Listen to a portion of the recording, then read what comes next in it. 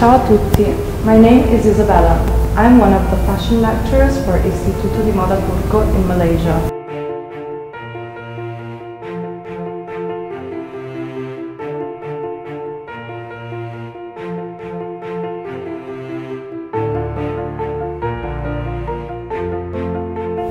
Istituto di Moda Burgo is a fashion school with headquarters in one of the most exclusive fashion districts in the world, Milano.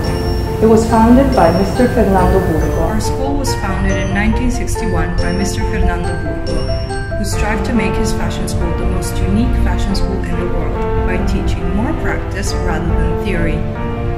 It transforms thousands of students into real fashion artists. Our school teaches students to reconcile their personal imagination